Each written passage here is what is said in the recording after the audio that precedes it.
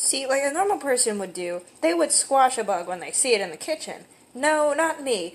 I motherfucking cook them.